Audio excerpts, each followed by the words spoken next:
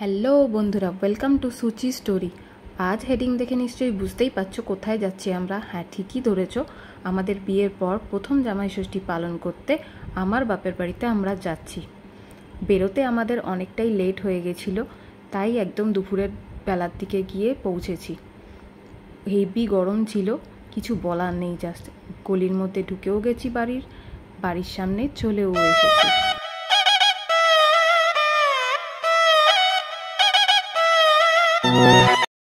রিচুয়ালসের জন্য যা যা লাগে মা সব রেডি করে রেখেছিল। জামাইয়ের জন্য ফল মিষ্টি পায়েস তারপর হাতে হলুদ সুতো বাঁধা ধানদব্য দিয়ে আশীর্বাদ করা। জামাই সেজে আমি হাজির হয়েছি। হাজির হয়েছি হাজির হয়েছি। উপহার কি কি পাবো লিস্টি করেছি। মিষ্টি করেছি। জামাই সেজে আমি হাজির হয়েছি। উপহার কি কি পাবো লিস্টি করেছি? জমিয়ে খাব আমি ইলিশ মাংস কই? খাব আমি চেটে পুটে মিষ্টি সাথে তো করোনা বেশি সামান দেখাবো আমার কামান ষষ্ঠীর জামাই আমি। নাজুক নাজুক নাজুক। হাওয়া হাওয়া হাওয়া হাওয়া। কি হাসি গিফট পেয়ে। শ্বশুর মশাই অলসো বাদ যায়নি। আমার টার্ন এসেছে এবার। মা আমাকেও হাতে হলুদ সুতো বেঁধে দিয়েছে। আগে ছোটোবেলায় বাবার সাথে দিদার বাড়িতে যেতাম, দিদা তখন আমাকে হাতে হলুদ সুতো বেঁধে দিত। আমার ষষ্ঠীতে সব থেকে এই জিনিসটাই ভালো লাগে, হাতে হলুদ সুতো বাঁধা। মা আমাকেও হাতে তাই হলুদ সুতো বেঁধে দিল। আর সাথে আমি গিফটও পেয়েছি, এমন না যে পাইনি। মা আমাকে আর বোনকে ছোটোবেলা থেকে হাতে একটা করে আম দিত। আমাদের বাড়িতে আম গাছ আছে, সেই আমি মা প্রত্যেকবার একটা করে আমাকে আর বোনকে দেয়। আর সাথে আমি একটা সুন্দর একটা হ্যান্ডলুম শাড়িও পেয়েছি। শাড়িটা হেভি পছন্দের শাড়ি হয়েছে আমার। এরপর বোনের টান এলো। মা বোনকেও আম দিল আর হাতে সুতো বেঁধে দিল। জামাই ষষ্ঠী বলে কি আমি খাব না? খাব না? খাব না আমি আম আর মিষ্টি? তাই কি কখনো হয়? খেতে তো হবেই। জামাই ষষ্ঠী উপলক্ষে জামাইদের জন্য গরম গরম ইলিশ ভাপা হচ্ছিল। আমি না পেরে চট করে গিয়ে একটা বুমেরাং তুলে ফেলেছি। And here is the lunch menu বাসন্তী পোলাও, পাঁচ রকম ভাজা, ভেটকি মাছের পাতুরি, ইলিশ ভাপা, মাটন, চাটনি, রসগোল্লা, মিষ্টি দই। ও হ্যাঁ শেষ পাতে কোল্ড ড্রিঙ্কস ছিল। কোল্ড ড্রিঙ্কসের ফটো তুলতে ভুলে গেছি। আর সকালবেলার জলখাবারের কথাটাও ফটো তুলতে ভুলে গেছি। ওখানেও লুচি, আলুর তরকারি, পাঁচ রকম মিষ্টি ছিল, কিন্তু ফটো তুলতে ভুলে গেছি।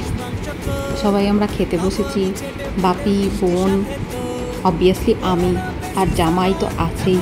আর মা পরিবেশন করছে বেশ হেসে হেসে পোজ দিয়ে। আমার মা ফটো তুলতে খুব ভালোবাসে, তাই পোজ দিয়ে দিয়ে দিয়ে দিয়ে উনি ফটো তুলছেন। হ্যাঁ ভিডিও অবশ্যই আমার বোন করছিল, তাই বোনকে দেখা যাচ্ছে না।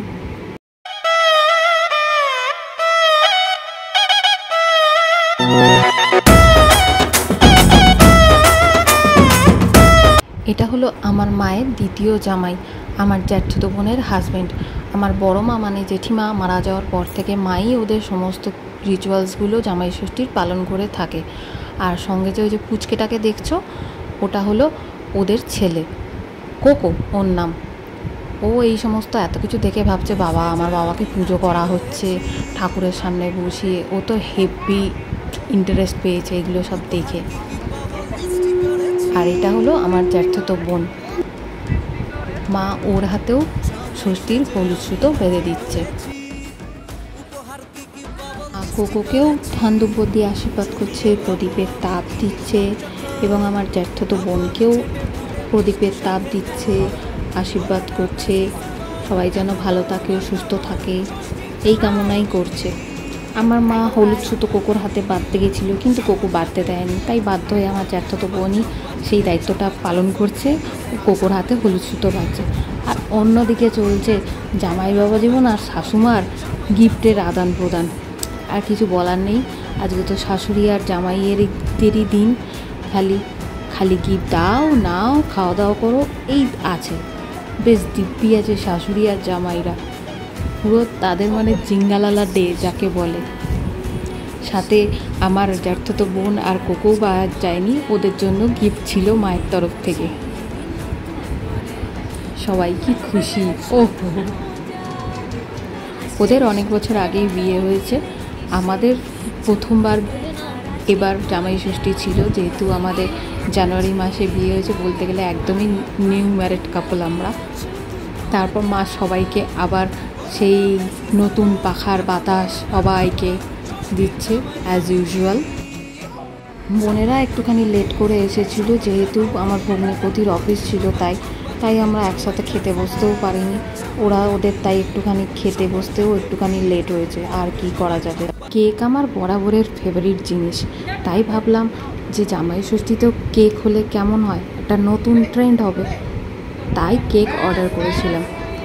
কোকো তো কেক দেখে ভাবলো যে হ্যাপি বার্থডে ও কেক বলতে এটাই বোঝে যে হ্যাপি বার্থডে হবে। ও তো হ্যাপি বার্থডে গান করতেও ইভেন শুরু করে দিয়েছিল। আর মা তো কোলে নিয়ে কোকোকে নিয়ে কেক কাটতে শুরু করেছিল।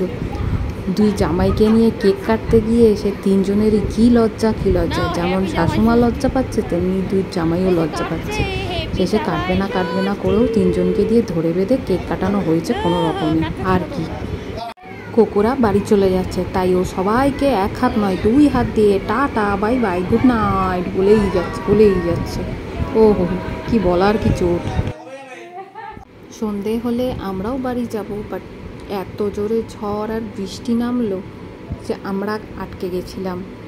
প্রায় অনেকক্ষণ ধরে ঝড় আর বৃষ্টি হলো। সারাদিন প্রচণ্ড গরম দিয়েছিল, এত গরম যে দুপুরবেলা খাওয়া তো কিছু খাওয়া দাওয়ার পরে সাংঘাতিক গরম লাগছিল। বৃষ্টি, ঝড় বৃষ্টি থামলে তারপর আমরা আস্তে আস্তে বাড়ির দিকে আমরা রওনা দিয়েছি। আর কি, এইভাবেই দিনটা কেটে গেল। আমার চ্যানেলে তোমরা নতুন হলে অবশ্যই চ্যানেলটিকে সাবস্ক্রাইব করো আর ভিডিও যদি ভালো লাগে অবশ্যই লাইক, শেয়ার আর কমেন্ট করো। আর তোমরাও তোমাদের জামাই ষষ্ঠী কীভাবে পালন করলে কমেন্ট বক্সে আমাকে জানিও। Thank you.